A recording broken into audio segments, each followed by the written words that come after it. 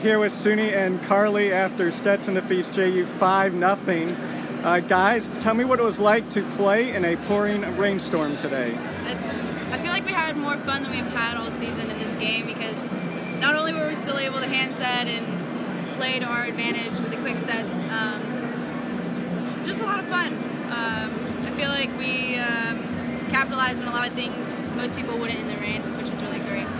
It was a very uh different to not be able to handset because I think we probably handset like 90% of the time. So it was uh, uh, it was very uh, yeah uh, different, but but it worked out really well. We can still set with our passing, so so yeah, it was fun, but it was different, new experience.